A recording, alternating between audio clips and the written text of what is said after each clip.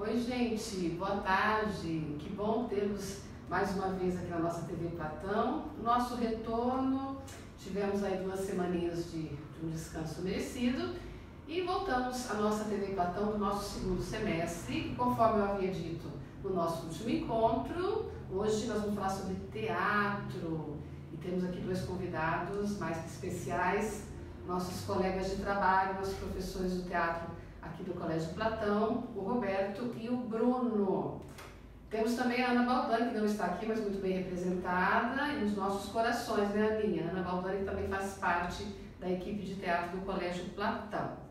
Nós hoje vamos falar de teatro, de teatro na escola, de teatro no Platão e da nossa mostra, que a gente já está vivendo intensamente. Tão intensamente que os meninos chegaram aqui agora há pouquinho. Estão se recompondo ainda, porque eles estavam, na verdade a meninada ainda está por lá, fica até às 18, em clima já de, né, a mostra começa semana que vem. Mas os meninos gentilmente vieram bater esse papo conosco e eu vou falar um pouquinho deles e depois cada um vai contar um pouco também da sua história. O Roberto Cie Mi Liaco, treinei, viu gente, mas falei certinho. Ele é licenciado em artes, ator profissional, pós-graduando em teatro, dinamismo e expressividade no ambiente escolar, diretor e fundador do grupo Paré. Depois você vai contar melhor um pouquinho desse grupo. E o Bruno Tostes, mais fácil falar, é formado em artes cênicas pela nossa universidade de Maringá, é ator do grupo Teatro Universitário de Maringá e também do Circo Teatro Sem Lona, dois profissionais de muita experiência e principalmente de muito amor pelo que eles fazem. Meninos, eu acho que a maioria de nós teve algum tipo de experiência com teatro na escola, mesmo né, os mais experientes como eu, de maneira mais simples. Mas como é que vocês resolveram pegar isso como, como profissão, como alguma coisa para fazer é, depois assim, do ensino médio? Então, no meu caso foi bem diferente, porque eu não tive essa experiência teatral na escola, inclusive. Né? No colégio que eu estudei a vida toda não tinha essa questão de teatro, que tinha um grupo de alunos que se reuniam para fazer algumas ações em dias das mães, dia dos pais, em datas comemorativas. E esse professor que conduzia a gente, ele geralmente tinha essas práticas mais é, sensitivas, assim que a gente dizia. Não, era escola particular também, lá em Ponta Grossa. E isso me despertou, mas na escola mesmo eu não tive. A minha primeira formação, na verdade, é turismo, eu também sou bacharel em turismo. E quando eu fiz a faculdade de turismo, me formei, eu precisei trabalhar na área e foi aí que eu percebi que eu gostava de trabalhar com pessoas. Na verdade, eu acabei descobrindo com o turismo, é, que eu trabalhava num hotel que quanto mais simpático eu era com as pessoas, mais gorjetas eu ganhava. Então eu acabei ganhando esse gosto por trabalhar com pessoas. Você trabalhava com viagem, quis viajar de umas outras maneiras? Quis, é, na verdade eu fiz turismo para viajar, mas acabei entrando é, no ramo da hotelaria, permite bastante, né? Isso é uma, uma, uma vantagem bem Sim. grande. Mas quando eu fiz a faculdade de turismo, então eu percebi que eu queria mesmo trabalhar com pessoas uhum. e que eu tinha uma veia artística em mim que não tinha se desenvolvido. Então, durante esses 10 anos que eu trabalhei na área turística, eu fiz um voluntariado como palhaço em hospital. Uhum. E foi aí que eu me descobri, primeiramente como palhaço, antes mesmo de ser ator. Aí, quando eu já estava com meus 28 anos, hoje eu já vou fazer 33 esse mês, é, nos meus 28 anos eu decidi que eu queria fazer teatro, entrei num curso livre de teatro, aí abandonei meu emprego na área do turismo e fui em busca desse sonho. Já tinha né? uma maturidade mesmo para essa já, Já tinha. Uhum. Daí com isso eu consegui, é, dentro da escola mesmo que eu comecei a estudar teatro, eu consegui fazer algumas montagens, uhum. o que me permitiu a buscar a profissionalização e a partir disso eu montei meu próprio grupo, né? E daí com a graça de Deus e das redes sociais, como a gente está hoje, é, o colégio teve é, a descobriu, a gente acabou vendo o trabalho que a gente realizava lá em Ponta Grossa, entrou em contato e eu juntamente com a professora Ana viemos lá de Ponta Grossa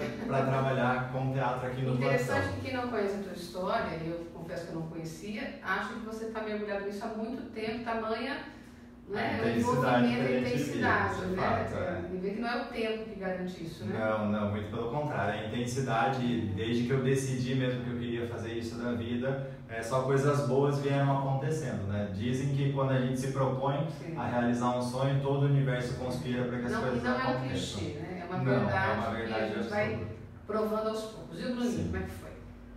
Bom, eu desde sempre gostei muito de atuar, de atuação, de teatro. De palco? E de palco, sempre gostei muito, apesar de ter uma personalidade mais fechada. Uhum. Mas desde, desde os tempos da escola eu fazia teatro na escola. Chegou a época do vestibular, tinha aberto o curso de artes cênicas aqui na UEM já fazia um ano, então vi a chance de tentar. E eu passei e, e foi nessa, foi de cabeça, paralelamente a, ao curso acadêmico, uhum. eu me envolvi também com oficinas de teatro em TUM, que é o Teatro Universitário de Maringá. Fui conhecendo o pessoal de, aqui de Maringá. Você continua, né? Conheço, continuo uhum. até hoje, desde 2012. E Ciro Teatro Cenoura também foi dessa época da, graduação? Não? Isso, foi um pouquinho depois que depois entrei em contato com o professor Pedro Show uhum. também, que eu acabei também vindo parar aqui no Colégio Platão. Uhum. E por aí foi. Bruno, aproveitando que você falou assim que apesar né, de você ser um pouco mais introspectivo, vamos falar disso pensando no teatro na escola, antes de falar do teatro com Platão, de todos os benefícios, a gente sabe que hoje o teatro ele precisa estar né, na base curricular. E no Platão a gente tem desde os, os pequeninos. Isso, infantil, infantil 2. Né, gente, eles são assim, ó, desse tamanho. Desse tamanho. Depois a gente vai falar da amostra dos pequeninos, até o ensino médio. Então não tem essa. É, é, um mito, né? Imaginar que só quem tem, sei lá, já é da natureza extrovertida vai conseguir enfrentar o palco. Talvez até pelo contrário seja um desafio. Como é que foi para você viver isso? Se você já é mais discreto. Eu sempre fui mais discreto, mas eu tinha muita vontade de interpretar, de fazer uhum. outros papéis. Essa sempre era a minha grande vontade. Uhum. Que a gente que acaba acontecendo muitas vezes uhum. é quando a gente coloca o pé no palco, a gente se sente intimidado. Uhum e aí a gente acaba recuando, indo para trás. A gente, em vez de experimentar o teatro, a gente acaba se distanciando dele. E aqui no Colégio Platão é algo totalmente diferente disso. A gente estuda teatro a longo prazo, a gente estuda teatro o ano todo, inclusive os pequenininhos, que são os que precisam de mais preparação, a gente tem aula o ano todo, tem um processo de contextualização que acontece no primeiro semestre. É tudo muito mais longo, tudo muito mais com tempo, com mais tempo para que o aluno se sinta envolvido, para que ele sinta prazer naquilo que ele está fazendo. Sinta feliz, eu queria que a gente gosta de reforçar. Roberto, mas de maneira geral, quando a gente fala da amostra, né, a gente imagina já os benefícios todos dessa, desse ensino, de trabalhar, de, de propiciar né, para os alunos, dependendo da faixa etária, essa, esse contato com o teatro. Exatamente. Eu costumo dizer, é, voltando um pouquinho na minha uhum. história, que antes de começar com essa aventura teatral, eu tinha vergonha até de ir na padaria para comprar pão. Eu ficava suando só de saber que eu podia receber um troco e isso me deixava extremamente nervoso. É. E, e, o teatro ele serve justamente para a gente conseguir canalizar, uhum. né? Porque eu acho que o teatro, quando a gente consegue é, dar uma forma para nossa expressão, a gente começa a perceber o potencial é, de domínio da, de todas as, as, esferas da nossa vida que a gente consegue ter, né? Então, a partir do momento em que você aprende através da expressão teatral a se expressar na vida, a cada vez que você vai subindo no palco, você vai aprimorando essas habilidades de expressão, você vai ficando mais confiante para ir na padaria comprar pão. Aí eu sempre falo para os alunos, principalmente do ensino médio, futuramente numa entrevista de emprego, né, num concurso público. Então tudo isso é fundamental para você entender que todo esse potencial que jaz adormecido dentro de você, ele pode sim ser colocado para fora de maneira ordenada, né? E o teatro tem esse potencial de conseguir organizar. Porque muita gente tem muita coisa para falar, que na verdade todo mundo tem, né? Ixi. Alguma coisa para falar, mas a maioria não sabe como dizer. E o teatro tem essa função de fazer essa organização dos pensamentos ali para a gente conseguir colocar para fora e dizer tudo o que quer e pretende dizer. E tocar as pessoas. Exatamente. Estou emocionada porque ele disse jaz adormecido. Não sei nem se eu vou conseguir continuar essa Jaz adormecido. Muito bem. Meninas, olha só, vamos pegar um link então que vocês estão falando porque, de novo, as pessoas que vêm assistir as nossas mostras são quatro, né? Vamos só, só, explicar para as pessoas entenderem que não, não vivem esse universo platônico. São quatro mostras ao longo do ano, começando dos mais velhos para os pequeninos. Semana que vem temos ensino médio, nonos anos, anos, são seis noites. Depois, em setembro, temos, acho que são dez noites, são isso, na verdade, tempo, na, né? última, é, na última semana de agosto é, são. E acho que depois setembro, né? Isso, depois daí. Fundamental 2. É, isso, o finalzinho de agosto, comecinho de setembro. Depois temos Fundamental 1. Em outubro. E lá para novembro, eu acho, né? Finalzinho de novembro, educação infantil. pequeninos. Então vejam que realmente a gente tem todo o segundo semestre. E as pessoas que vêm assistir, né, geralmente familiares, amigos dos alunos, é um, é um momento contemplativo, é assim, emocionante. Gente, é assim, profissional. Assim, não paga, mas se pagasse ingresso ninguém sairia reclamando, porque é maravilhoso. Só que mesmo assim, contemplando, não é, meninos, as pessoas, por mais por mais que nós é, falemos hoje aqui, não, não, não conseguem ter essa noção do processo. Então, o Bruno já falou alguma coisa agora há pouco, né, de, disso ser ao longo do ano.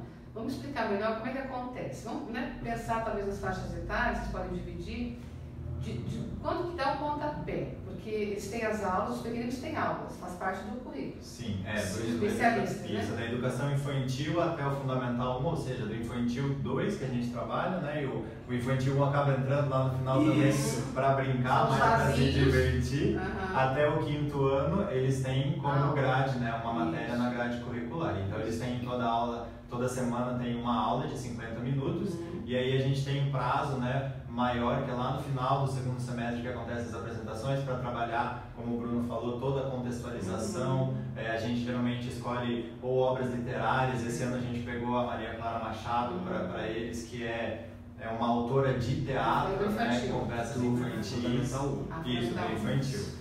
E daí a partir disso a gente vai trabalhando, vai mostrando para eles como que é a peça, como que é escrita para teatro. Uhum. E a partir do texto eles vão criando a própria interpretação, vão criando as suas ações, vão dando as suas opiniões, colocando as suas es- expressões e a gente vai daí montando, né, uma peça adaptada do roteiro original para eles. Quem assiste a peça dos pequeninos os vê assim no palco numa, né? Aquela história. É a minha casa. Eles, Eles frequentam, né, Bruno? Eles, eles vão ao teatro? As aulas são no teatro? As aulas todas, são né? de teatro, todas as aulas, mas o ensino infantil é legal que eles se divertem, para eles É. é uma grande brincadeira. Então, é uma brincadeira organizada, com começo, meio e fim, o mais interessante é que eles dão risada na hora que estão fazendo a De um peça. processo pedagógico muito intenso. Isso. Porque quando a gente, às vezes, eu confesso que quando eu posto os vídeos e as fotos da mostra nossa, eu uso uma hashtag assim, desculpa aí, só tem aqui. É. Parece pretencioso, eu sei, mas é quem vive sabe que não é então só a apresentação, que é belíssima e a gente aplaude de pé mesmo.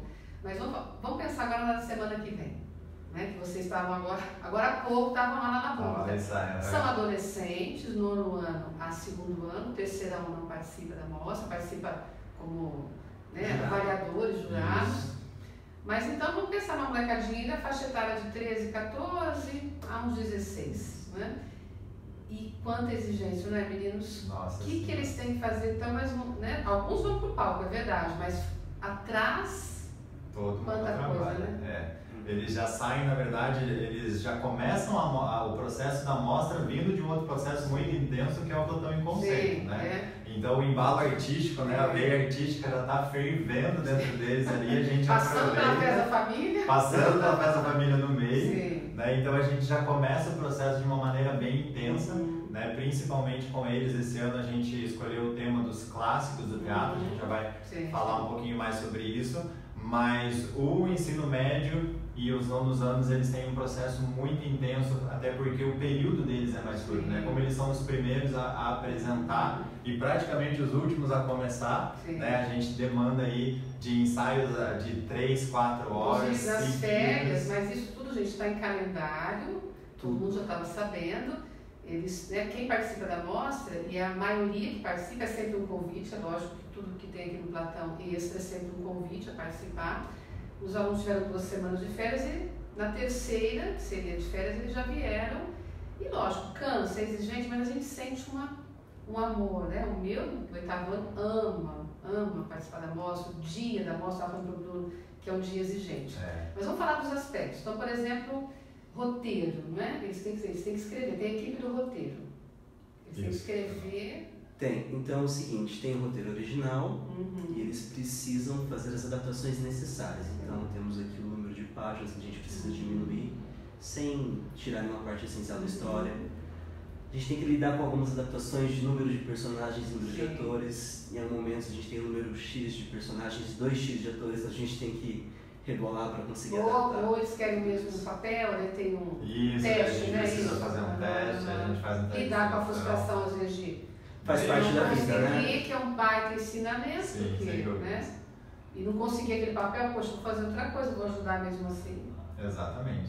E daí, depois de definido o roteiro, que a gente passa propriamente dito para os ensaios, que daí as equipes de iluminação, uhum. né, o nosso teatro conta com uma estrutura Sim. de iluminação que isso também é uma coisa incrível, né, Profissional. Né, que na vida assim a gente não vê em quase nenhum lugar um colégio que dá acesso aos alunos ter essa chance de manipular, de operar o equipamento, tanto de sonoplastia quanto de iluminação. Aí tem equipe que é responsável só pela iluminação, eles começam a trabalhar já nos ensaios de, que a gente consegue fazer no teatro, então tem mapa de luz que a gente faz, eles têm croquis de cenário para desenhar todos os elementos cênicos que vão na peça. Também, os né? figurinos também eles recebem croquis, eles têm que apresentar junto com a pesquisa teórica que eles também fazem.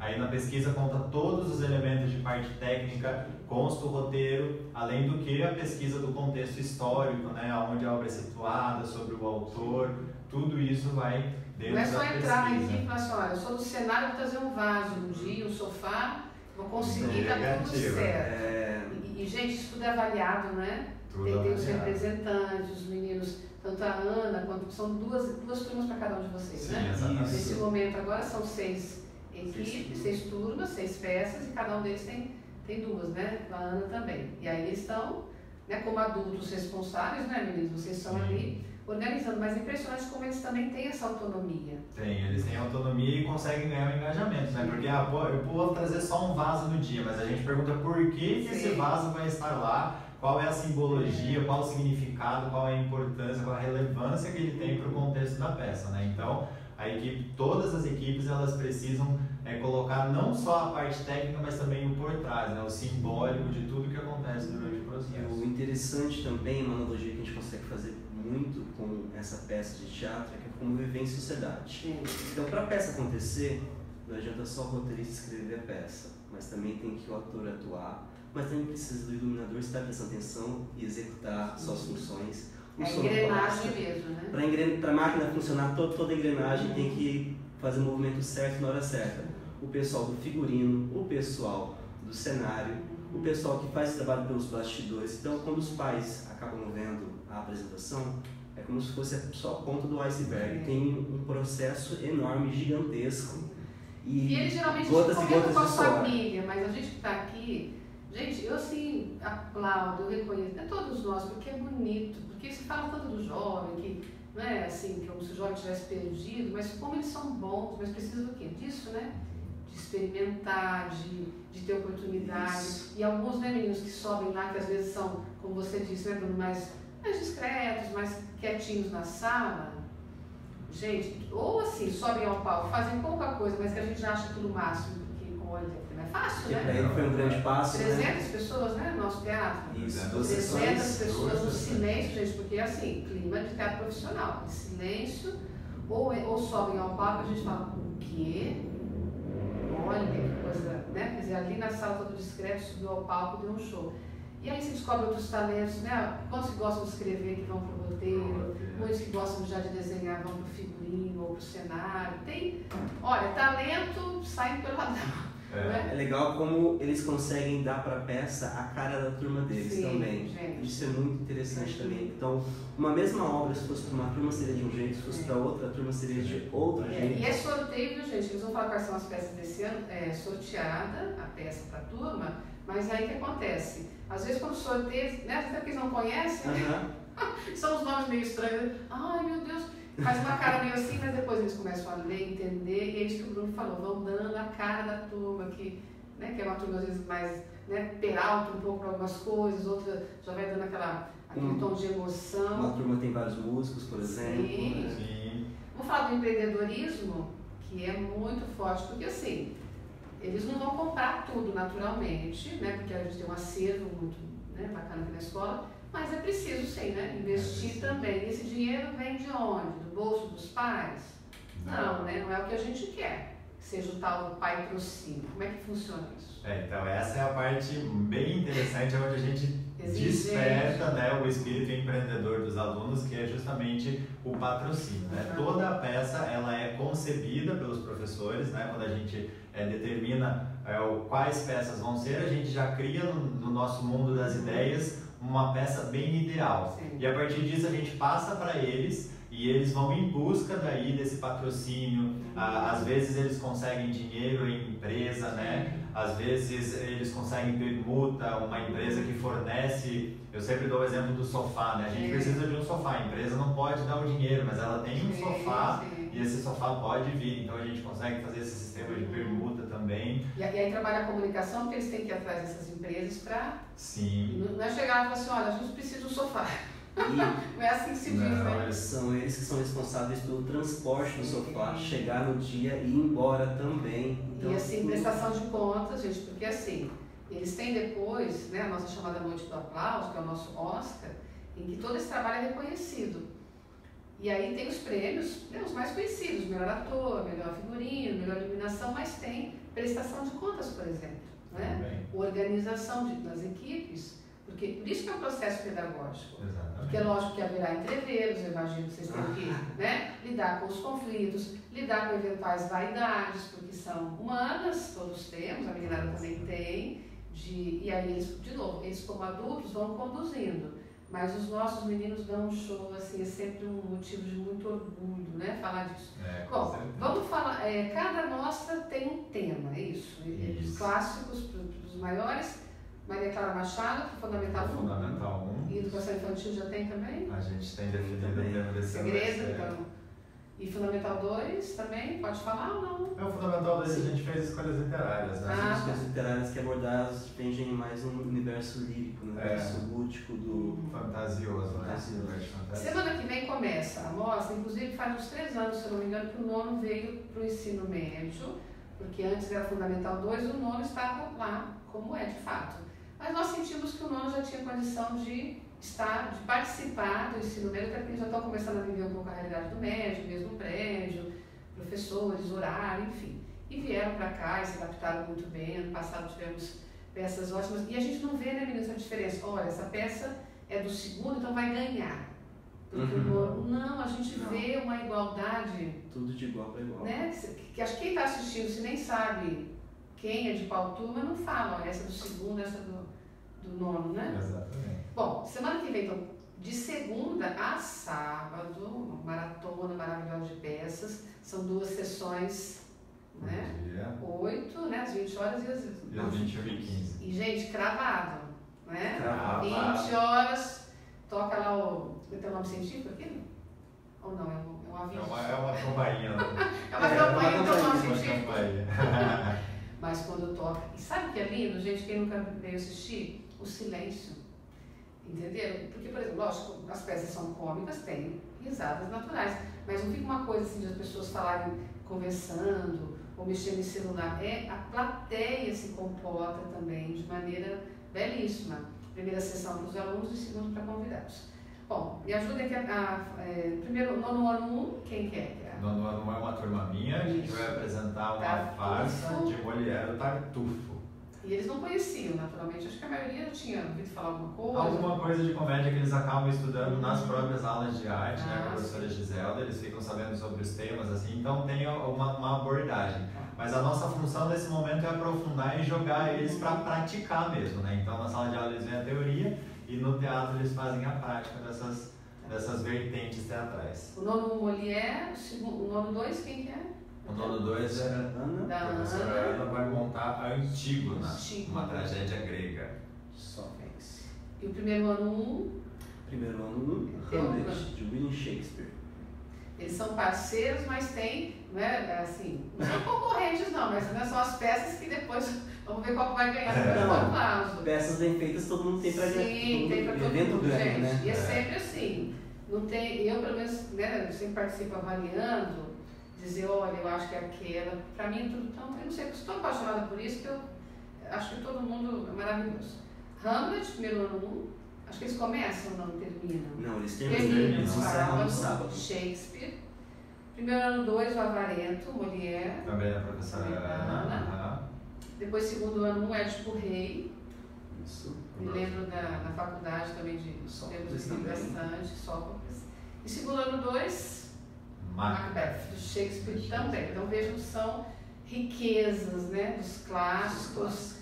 E aí é sempre um presente para quem está assistindo também. Algumas pessoas é, já talvez conheçam os textos, e algumas talvez não conheçam, até se sintam motivadas, porque não, né? Claro. Acho que o teatro pode provocar isso também, né? Provoca, com Mesmo jeito que certeza. às vezes assistir um filme que você ainda não leu, sei lá, baseado num livro, pode acontecer, né? Então, É, é um trabalho pedagógico, inclusive, para a plateia. As outras mostras já falamos. Meninos, de maneira geral, o que mais que a gente pode falar sobre toda essa riqueza do teatro do Platão, de como a gente faz questão disso? Olha, eu costumo dizer, a gente até faz bastante reuniões, né? Eu, o professor Bruno e a professora Ana, e a gente buscou, é, por um bom tempo, encontrar um termo, né? Que, que norteasse a- o nosso trabalho pedagógico dentro do Platão. Uhum. E a gente chegou numa expressão, numa, numa máxima, digamos Sim, sim. assim, que é a expansão potencializada da expressividade humana desde o início da vida escolar. Uhum. Então a nossa função, né, não vendo só pela visão essencialista da arte pela arte, mas trazendo principalmente o contexto pedagógico de eh, expandir né, essa potencialidade humana, que como eu disse antes, né, ela jaz adormecida. Eu acredito que todo mundo tem esse potencial dentro de si. Um sopro. É, e o colégio dá esse sopro aí, que na verdade às vezes é um furacão, né? Que vem intenso Começa aí. com uma brisa, mas Começa com uma brisa, mas chega no ensino médio. Eu vou dizer para vocês, a quantidade de depoimentos que temos de ex-alunos, que alguns vêm, né? Muitos vêm assistir, que lembram da peça que fizeram. E aí, gente, não são os, ganhadores só que se lembram. Todos se lembram das brincadeiras de bastidor, das eventuais briguinhas de bastidor também. Isso fica. O que é mais legal é, quem faz teatro não é só quem quer ser ator. Sim, ó. Faz teatro, todo mundo tem que ter essa experiência de fazer teatro, pra Uhum. sentir na pele É. como que é, como é que é vantajoso para o mundo, como é que é vantajoso para o seu crescimento pessoal, como que pode fazer diferença mesmo, esse nervoso que dá antes de começar. Adrenalina, né? É, Que que mostra adrenalina. que estamos vivos, eu acho maravilhoso. Deixa eu só registrar algumas participações aqui. É, o Luiz Felipe, que né, sou fã desses professores, e também a Denise, a Luciana Araújo e o William Júnior estão aqui nos assistindo. A meninada, até nós falamos, né, entre lá, mas eles estão ensaiando, né? Também dá para eles ensaiarem É, e entrarem aqui também. Meninos, eu sempre gosto de terminar né, os nossos bate-papos do Ateliê Platão com uma frase, que eu até já falei para o Roberto, você chegou depois, mas do filósofo alemão Arthur Schopenhauer, é assim que se diz, né? Olha que interessante isso, de novo, vai ao encontro que falamos. Não ir ao teatro é como fazer a toalete sem espelho. Essa imagem do espelho é muito emblemática, né? muito emblemático. Quer dizer, a gente ri, chora, é catarse, que eu estava tentando É, lembrar a palavra. né? Me veio agora a palavra, não é isso? Essa, como é que eu recebo? Quer dizer, a comédia me deixa leve naquele momento, o drama ou a tragédia, eu levo aquilo comigo e fica, né? Fica, com A certeza. sensação de quando você vai embora, é, fica pulsando aquela história em você. E a gente se vê refletido né, Sim, nas sim. histórias. É, e por isso que incomoda às vezes, É, né? às vezes até Uhum. incomoda. Às sempre o espelho- É, é verdade. Ah, o espelho da alma, principalmente, às vezes a gente acha que é o corpo, mas acredite, né, da alma é mais perturbador ainda. Queridos, mas só para ratificar, então semana que vem começamos a nossa Mostra Platão de Teatro 2019, com o ensino médio e nonos ano, nos anos. A gente já deixa aqui nosso, como é que é? Quebra a perna. Tem outra palavra que faz parte, que é merda. É, É, é. bonito até falar para teatro, né, gente? É, Nem é palavrão nesse sentido. Não. Mas qual que é a história disso, hein? A história disso é que nos espetáculos de antigamente, quanto mais carruagens tinha na frente do teatro, Ah. né, mais pessoas estavam assistindo. E Ah. como tinha mais carruagem, mais cavalo e consequentemente, né? Cavalo Gente, tá faz- vendo? é. Olha, eu nem tinha pesquisado Então, sobre isso. O é cheiro da forma. Essa é da área da dança, né? Mas Ah, voltando, dança. voltando pro. Voltando pro cavalo. Se o cheiro estiver forte é porque tem muito público. Se tem muito público, Deus, tem uma chance grande de ser vendo? sucesso. Vai reproduzindo, nem, nem sabe das histórias, né? Então, muita merda pra todo mundo. Aí, Temos certeza, dependendo do trabalho dos nossos meninos e da Ana Baldani também, vai ser um sucesso. E lê esse sucesso de crítica e de público, mas principalmente dessa meninada estar feliz. É um processo pedagógico que vai ter uma, é, ter uma avaliação ao final, mas muito maior do que isso é o que fica neles e o que as pessoas levam né, depois de assistir. Muito bem, na semana que vem nós vamos conversar sobre paternidade, que é a quarta-feira que antecede o Dia dos Pais. Nós vamos conversar com o pai Platão, que tem quatro lindas menininhas estudando conosco, que é o Paulo Henrique dos Santos. Então, nós vamos conversar sobre os desafios da paternidade. Esperamos vocês na próxima quarta. Obrigada, viu, meninos, pela participação, pelo bate-papo. Tá vendo? Acho que, acho que até extrapolamos, ó, olhando o nosso, nosso tempo, mas foi muito bom. Obrigada a você que esteve conosco, a você que nos acompanhou. Passe adiante esse vídeo. E aguardamos você na próxima quarta. Até lá!